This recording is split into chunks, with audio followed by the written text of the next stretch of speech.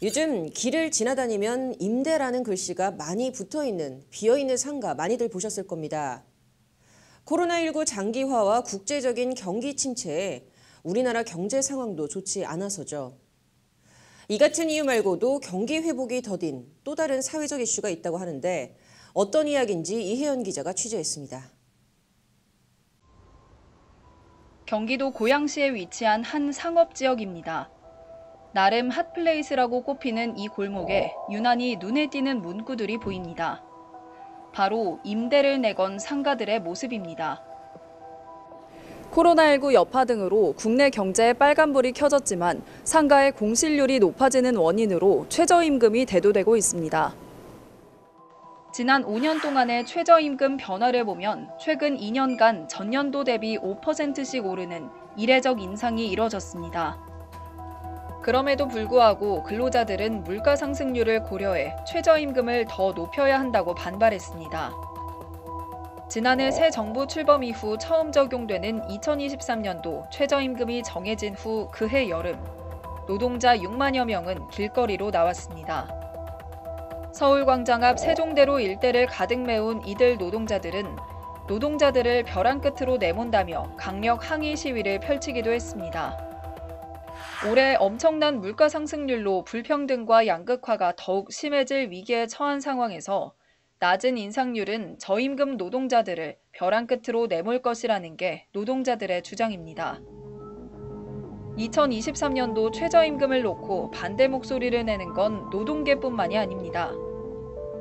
반대로 영세 자영업자들은 높아진 최저임금 때문에 생계에 위협이 될 정도로 직격탄을 맞고 있다고 호소합니다. 보통 식당에서 25% 정도의 아마 저 인건비를 책정을 해요.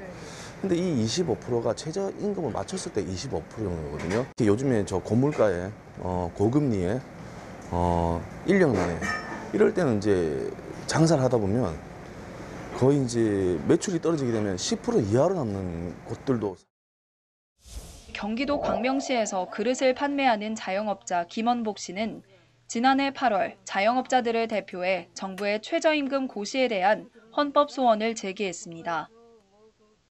소상공인도 국민, 국민인데 그들의 어려움이나 아픔은 외면하고 정책적으로 휘둘리면서 휘둘리는 데 대해서 안타깝더라고요. 현실적으로 굉장히 문제가 있다는 생각이 들어서 고용노동부 장관의 2023년 적용 최저임금 고시에는 모든 산업 및 사업장에 시간급 9,620원을 동일하게 적용한다고 명시돼 있습니다. 이에 대해 자영업자들은 대기업과 영세자영업자의 처지가 같을 수는 없다고 말합니다. 어, 대기업은 사실 어떻게든 어, money, money power로 이렇게 돈을 많이 벌 수 있는 구조가 되어 있지만도 일단 규모 경제에서 그 덩어리가 크다 보니까 이제 파이도 크게 되는데 저희는 사실 어, 이 작은 영세한 업장에서 그분들의 그 4대 보험료 반을 내주는 거 사실 힘든 부분도 있고 한편 최저임금 인상이 고용주 입장에서만의 문제는 아니라는 시선도 존재합니다. 헌법 소원에 함께한 김준용 국민노조 사무총장은 주휴수당을 언급하며 메뚜기 알바로의 전락을 우려했습니다. 경영 압박을 느낀 자영업자들이 초단기 알바생만 써요. 그래서 15시간씩 이하 주휴수당을 안 주려고 그 알바를 바쁜 시간만 쓰는 거예요. 여기서 14시간, 저기서 14시간, 메뚜기 알바를 하는 거예요. 이들이 공통적으로 제안하는 해결책은 최저임금 차등 적용. 헌법 소원의 법률 대리를 맡은 안중민 법무법인 동인 변호사는 법적으로도 문제가 있다고 지적했습니다. 사업장의 규모와 업종, 지역 등 조건에 따라 수입이 달라지는데 최저임금은 모두 동일하게 적용하고 위반하면 형사처벌로 이어지는 게 위법하다는 게 안 변호사의 주장입니다.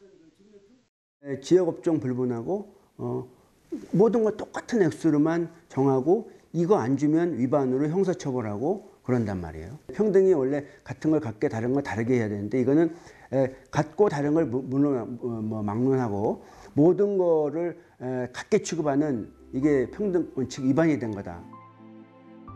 자영업자의 눈물은 누가 닦아줄 것인가에 대한 해답은 보다 촘촘한 사회적 논의라고 이들은 한 목소리로 말하고 있습니다. 법률방송 이혜연입니다.